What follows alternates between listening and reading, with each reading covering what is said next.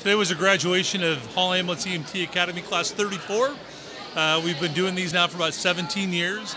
This was our largest class ever with 30 graduates today.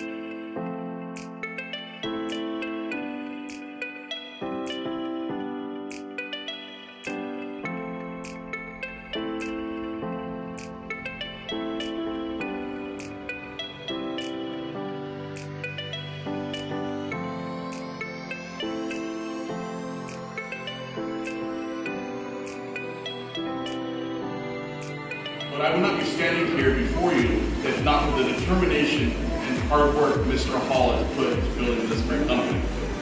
Hall Ambulance has changed my life and the lives of all those that came before you.